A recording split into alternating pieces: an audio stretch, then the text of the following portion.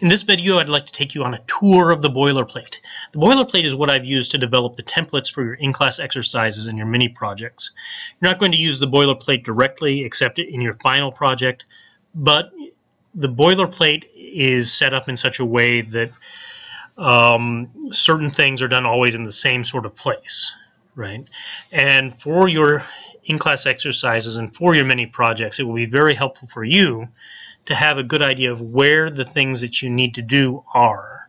If you can figure out where in this um, program all of these things are, it'll be make your programming experience a lot easier. You everything will go a lot faster. You'll know where to find things. You'll know what the errors mean, and so forth and so on, much more easily. It'll help you debug. It'll help you with a lot of things.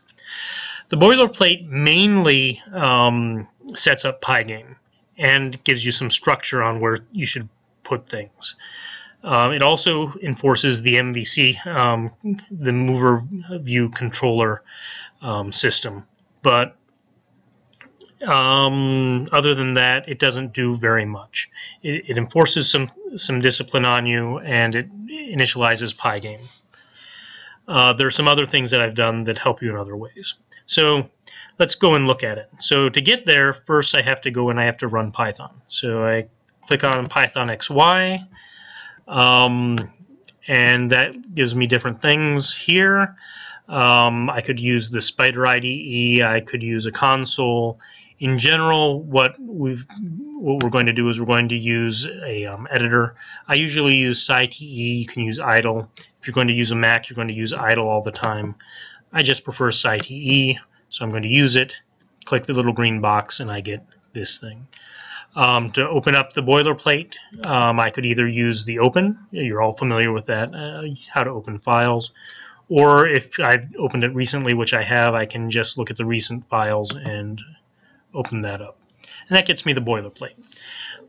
The boilerplate's nice. Like I said, it gives you everything you need to start, right? In fact, if I press go, uh, which is uh, I can either access from the tool tools um, menu or I can press F5.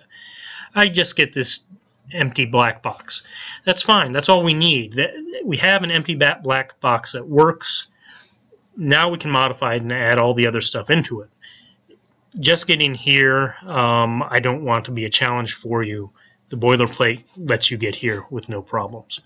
And whenever you want to exit, you can just press the little X and it goes away. And and that's um, something that we actually had to program that's part of the boilerplate. So now the boilerplate starts with a project title. These are going to be mostly in template form, so except for on your final project, that's already going to be filled in. Then it also asks for the author. It's going to be your name.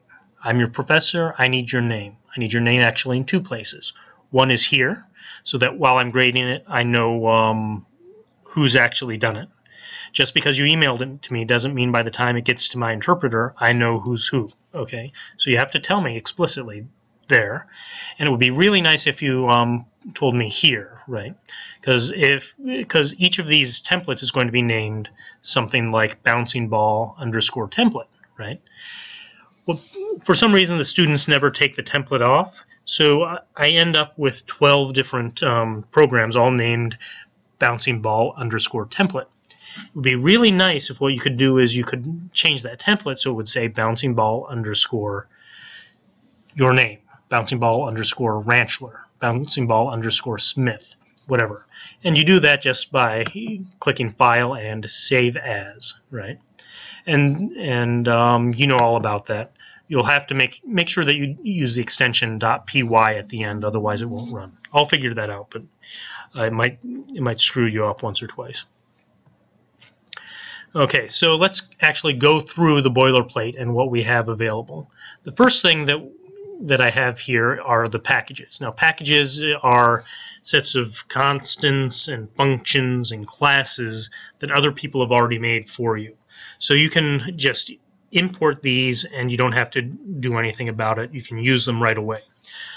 Um, the three things that this comes with are um, Pygame, and we need Pygame because that's what we that's the package that we're using for drawing things to the screen and for event handling. Um, Sys, we use that for activating that little red X. So we needed to import something from another package just to activate that little red X. It's important to be able to do that. We already have that there. And game class. Uh, when you get this, it'll probably just be game class, not game class version 0.95. Um, 0.95. Um, game class isn't completely done at the moment. Um, so game class includes a bunch of stuff to help you out uh, like a, some function to print to the screen easily. Pygame can do that by itself. It's a, I think it's a three-step process, maybe four. Um, I'd rather not have you worry about that. I'd rather have you have a simple um, screen print function. Also has like the background. It has some, and the background is very important to how we're going to program things. And it has the um, color constants, so that you don't have to use three numbers to specify a color. You can just use a name. It would be very simple that way. Uh, this is also where you import, say, math, the math package, so you can do square roots and cosines and sines. This is where you import the random package, so you can randomize things, because lots of games benefit from randomization. So it's a place that you'll use occasionally, but you're not going to spend a lot of time there, because it's usually just import Pygame. Bang, you're done. You're, that's all you need to do. Uh, then we'll talk about classes. So classes are the next thing.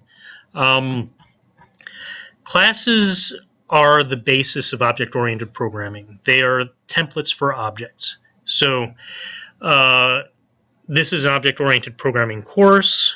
We're programming games in Python. It's object-oriented programming language. Games usually involve things moving around and changing position and things like that. Classes are good for that.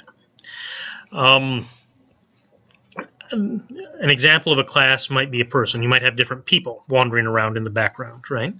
And you might want to have them have different colors. So uh, let's say you want um, to have a class of a person that has several attributes. Those attributes could be shirt, slacks, shoes, right? Something like that.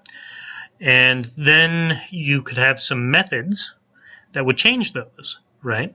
So you'd have method um, change pants. So you could change from blue pants to black pants. Or you could have method change shirt. You can change shirt from white to green or whatever.